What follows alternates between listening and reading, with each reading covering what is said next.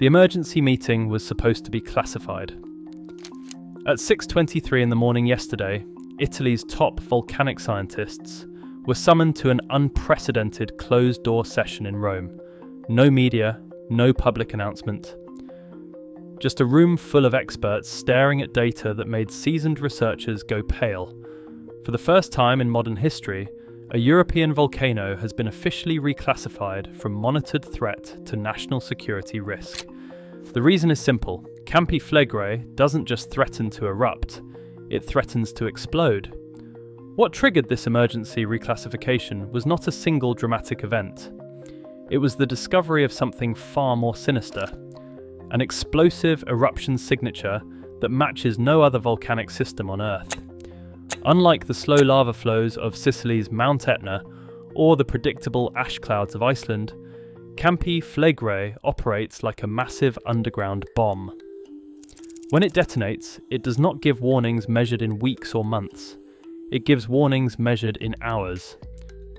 The classified report reveals that this hidden caldera has the capacity to launch pyroclastic flows, walls of superheated gas and rock, at speeds exceeding the 400 miles per hour. These are not at the gentle volcanic flows tourists photograph from safe distances. These are continent reshaping explosions that can bury entire metropolitan areas in minutes. And the 900,000 people living directly above this system have just become unwilling test subjects in a geological experiment no one wants to see completed. But here is what has emergency planners terrified. If this volcanic system is now classified as an explosive national threat, what does that mean for the millions more living across southern Europe? How do you evacuate nearly a million people when the warning time might only be hours?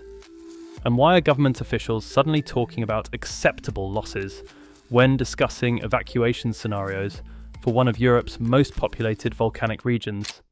Scientists studying Campi Flegrei say the danger is not the mountain you can see, it is the explosive system you cannot see. This hidden caldera operates beneath one of Europe's most densely populated regions, where nearly a million people live unknowingly above what researchers now classify as the continent's first national security threat. Dr. Giovanni Macedonio of Italy's National Institute of Geophysics and Volcanology says the Campi Flegrei volcano is considered a national threat because of the explosive style of its eruptions, which could create an eruptive column rising some 18 miles into the sky. His team's analysis says this is not hyperbole. It is based on documented explosive potential that exceeds any other European volcanic system. Dr. Christopher Kilburn of University College London explains that the current unrest phase has lasted longer and shown greater intensity than any episode since the 1980s. We are seeing deformation rates, gas emissions, and seismic patterns that together suggest the system is approaching a threshold state. His 2016 prediction that major escalation would follow additional ground uplift has proven accurate, and that threshold has now been exceeded. Current monitoring data confirms the explosive signature. Ground uplift has reached 1.4 metres since 2005, with recent acceleration to 2 centimetres per month. Seismic activity has increased to over 1,000 earthquakes per month, and carbon dioxide emissions have spiked to 1,557 tonnes per day, levels comparable to actively erupting volcanoes. These measurements collectively indicate explosive pressure buildup, not gradual volcanic awakening. Here is how the explosive system actually works. When pressurized magma and gas accumulate beneath Campi Flegrei's sealed caprock, they create a pressure cooker effect. Unlike typical volcanoes that release pressure gradually through vents and fissures, Campi Flegrei's geological structure traps energy until it reaches explosive critical mass. Each small earthquake and ground uplift episode adds pressure to a system that has no safe release valve. The process operates like a massive underground explosive device. As pressure builds in multiple interconnected chambers, the system reaches what engineers call coordinated failure potential. the point where multiple pressure zones could explode simultaneously. Recent seismic analysis shows pressure concentration across a 15 kilometre network, suggesting the entire caldera could experience explosive decompression as a single catastrophic event. What makes this particularly dangerous is the feedback acceleration, now documented by international monitoring agencies. Each pressure increase weakens the caprock further, allowing more rapid pressure accumulation in the next cycle. The system is essentially priming itself for explosive failure, with each episode becoming more intense and occurring at shorter intervals. Current data suggests this acceleration pattern is approaching what researchers call explosive culmination, the point where accumulated pressure exceeds the system's ability to contain it through gradual release. History shows what happens when Campi Flegrei reaches an explosive threshold. The last eruption, in 1538, began with warning signs that unfolded with terrifying speed before culminating in one of the most violent volcanic events in recorded European history. September 19th, 1538. Local fishermen reported the sea boiling near Pozzuoli, with temperatures rising so rapidly that fish died in massive numbers within hours. September 27th brought the first ground tremors, not the gradual rumbles typical of volcanic awakening, but sharp, violent jolts that shattered windows and cracked ancient Roman structures. Witnesses described the earth breathing violently, with ground movement so intense it could be felt across the entire region. By September 29th, the explosive finale began. Unlike typical volcanic eruptions that build gradually over days or weeks, Campi Flegrei detonated with shocking suddenness. The explosion tore a hole in the Earth's surface, launching superheated rocks and volcanic bombs across a radius of several kilometers.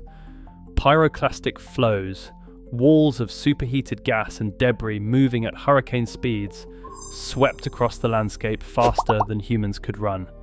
In just eight days of continuous explosive activity, the eruption built Monte Nuovo, New Mountain, rising 140 meters from farmland that had been peaceful the week before.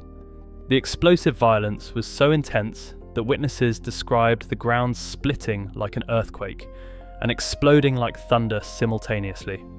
Entire villages disappeared under pyroclastic flows and volcanic bombs, with residents having only minutes to flee once the explosive sequence began. What makes this historical precedent terrifying is the scale of modern vulnerability. In 1538, the region was mostly farmland, with scattered settlements totaling fewer than 50,000 people. Today, the same explosive zone supports major highways, industrial complexes, and dense urban neighbourhoods housing nearly a million residents. The ancient Roman port where merchants once traded has become a modern metropolitan hub, handling massive cargo volumes and international traffic. This is most critical because the 1538 explosion occurred after a build-up period nearly identical to current conditions, including systematic ground uplift, coordinated seismic activity, and pressurized gas release across multiple points. If that explosive pattern repeats with modern population density, the casualty potential would exceed any natural disaster in European history. Every monitoring instrument at Campi Flegrei is detecting the same alarming signature, Explosive pressure buildup is accelerating beyond all previous measurements.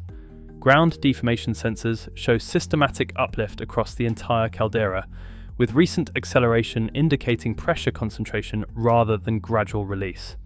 Thermal imaging satellites detect synchronized heat increases across underground networks, creating temperature patterns identical to explosive preparation phases. Since 2023, seismic monitoring has recorded what scientists describe as distributed pressure concentration, with earthquake swarms forming geometric patterns that suggest coordinated underground organisation. Dr. Flora Giudicepietro's analysis reveals these swarms concentrate along newly formed fracture networks that appear organised by geological forces to focus explosive energy towards specific failure points. The most concerning development is the appearance of explosive precursor signatures detected by international monitoring networks. These include pressure wave patterns that match laboratory simulations of whamming patches of catastrophic explosive decompression, systematic underground temperature increases across 15 kilometre networks, and seismic rhythms that indicate coordinated preparation for simultaneous failure across multiple pressure zones. Current gas emission analysis shows carbon dioxide levels reaching 1,557 tonnes per day, comparable to actively erupting volcanoes with open magma conduits.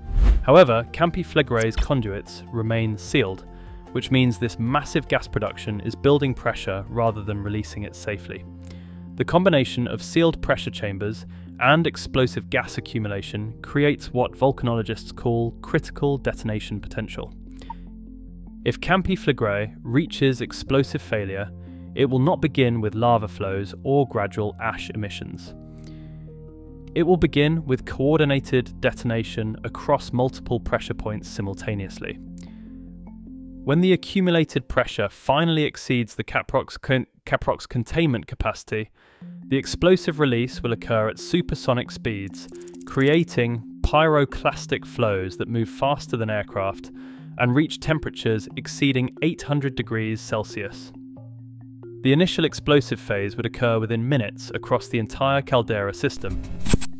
Pyroclastic flows would race outward from multiple epicenters simultaneously, covering the distance from explosion points to populated areas in under 10 minutes. Buildings, vehicles, and infrastructure within a 20 kilometre radius would face impact from superheated debris moving at speeds that make evacuation impossible once the explosive sequence begins. Within 30 minutes, the infrastructure cascade would cripple southern Italy. Naples International Airport sits directly in the pyroclastic flow path from three identified pressure concentration points. The port of Pozzuoli, handling 2.3 million tons of cargo annually, would be destroyed in the initial explosive phase, potentially igniting massive fuel storage facilities and creating secondary disasters. Highway networks connecting Naples to the rest of Italy cross multiple explosive zones where pyroclastic flows would make road travel fatal. The explosive column itself would create immediate regional catastrophe. An 18 mile ash plume would ground all air traffic across southern Europe within hours, stranding millions of travellers and disrupting cargo networks that supply much of the Mediterranean region. The ash column would also trigger its own weather system, creating electrical storms and acid rain that could affect crops and water supplies across multiple countries. Emergency planners estimate that coordinated evacuation of 900,000 residents would require at least 72 hours under ideal conditions. However, explosive volcanic systems typically provide warning times measured in hours, not days. The 1538 eruption gave barely 10 days of escalating activity before explosive culmination, and modern pressure buildup is occurring at accelerated rates that could compress this timeline dramatically. Scientists from Italy's National, Inst- National Institute of Geophysics and Volcanology, the European Space Agency, and international volcanic monitoring networks have reached an unprecedented consensus. Campi Flegrei represents the first European volcanic system to warrant national security threat classification based on explosive potential alone. Dr. Giovanni Macedonio put it bluntly. He said the Campi Flegrei volcano is considered a national threat because of the explosive style of its eruptions. There really are no countermeasures to protect yourself from pyroclastic flows that reach temperatures of 1472 degrees Fahrenheit and move at speeds between 30 and 60 miles per hour. His assessment reflects the scientific community's recognition that traditional volcanic emergency planning is inadequate for explosive systems. The European Space Agency's volcanic monitoring program has designated Campi Flegrei as Priority 1 risk, requiring constant satellite surveillance and real time threat assessment. Their classification notes that the combination of accelerating pressure buildup, unprecedented explosive potential, and extreme population density represents a volcanic crisis that could affect multiple European nations simultaneously. International, emerg- international emergency planning agencies have quietly begun updating protocols to address volcanic mass casualty events. Unlike traditional volcanic threats that allow graduated response, explosive systems require binary decision making, either immediate mass evacuation or acceptance of catastrophic casualties. For the first time in scientific history, researchers are documenting how a major caldera system transitions from dormant to explosive threat status, providing crucial insights into supervolcano re reactivation patterns that could apply to similar systems worldwide. The explosive mechanism identified at Campi Flegrei may exist at other high-risk calderas, including Yellowstone in the United States, Long Valley in California, and Toba in Indonesia. If pressure concentration and coordinated explosive preparation can occur at one major caldera, similar processes could be developing undetected at other supervolcano systems globally. The National Threat designation also reveals the limitations of current volcanic monitoring technology.